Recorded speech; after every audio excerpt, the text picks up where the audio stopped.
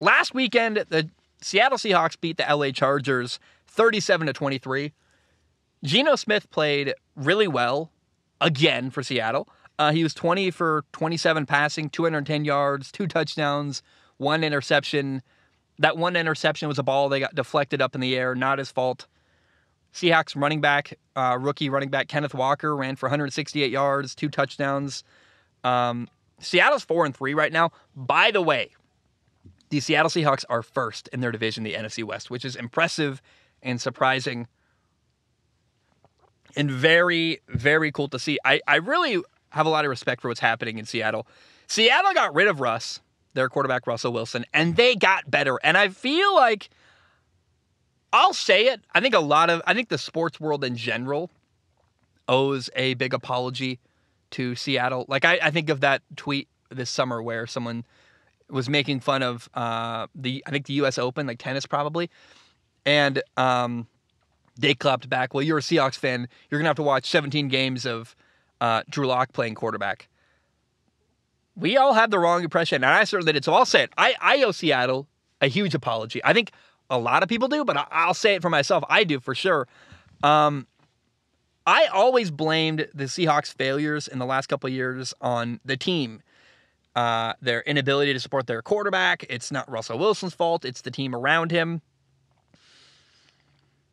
Uh, I think a lot of people thought that Pete Carroll was kind of washed up as a head coach.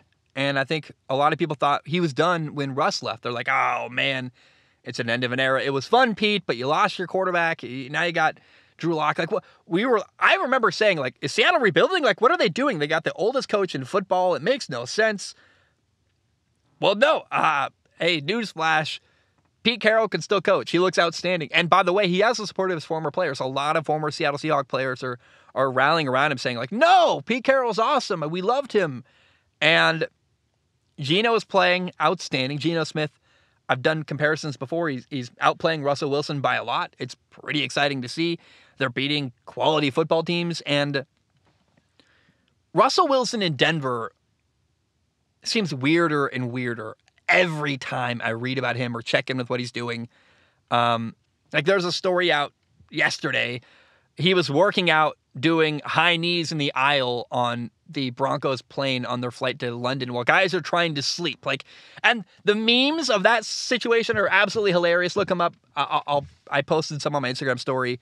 Um, I just the more we see Russ and learn about him in Denver, the worse he looks. Things are not good for Russell Wilson, and you know, like you can only contact him through his manager. Apparently, he's super weird. Like he's doing stuff that are he's like praying in the middle of the field in cringy ways, and he's running onto practice fields like aching air high fives, and he just seems very unrelatable.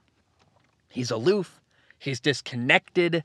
Um, it's a massive problem, and I, it makes sense now why Seattle was struggling. and, I always thought the locker room didn't like Russ because of the interception in the Super Bowl. Like that's why Richard Sherman didn't like him. And I have no doubt that's where it began, where people started to look at him sideways, like, bro, you cost us a Super Bowl.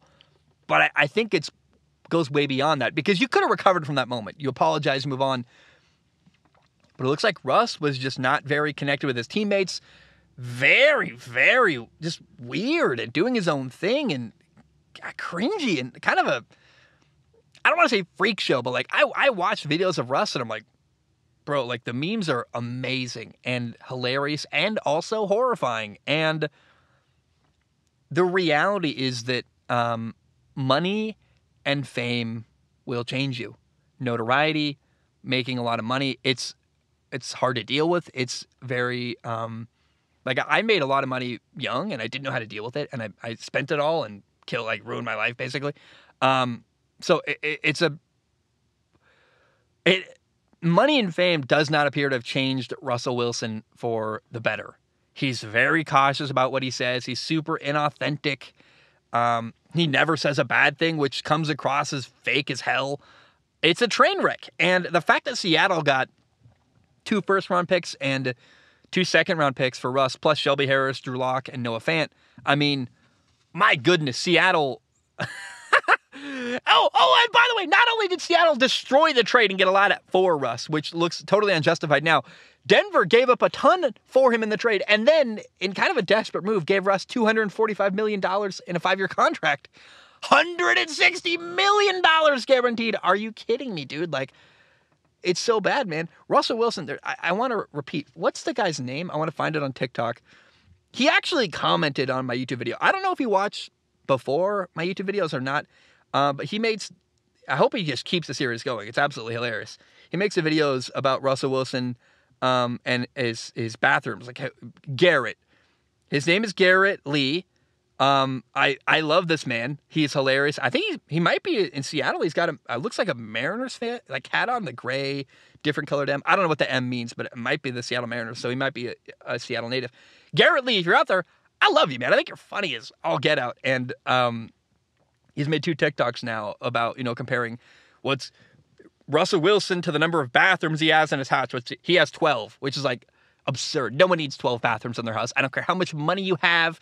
Nobody ever needs that. You need maybe I, I can understand you need one for the, the master bedroom, you need one or two for the kids, maybe, one for the guest room, one for the downstairs, one for the upstairs. That's still only like six or seven. How do you ever end up with 12? I just I, I know his wife is a pop star and they're living in probably just the biggest mansion ever, but like tw- I, I dude, I, I know he doesn't live like us. But I, I don't ever want to. No matter if I became a billionaire, bro, I would still have a manageable house that I could clean myself. Not that I, I probably wouldn't if I was a billionaire. Like I, I would hire help to clean it because I'm, I'm lazy. I don't want to clean my house. Although maybe I don't really want people in my house either. I, I guess you'd have to if you have that much money. You need security and crap.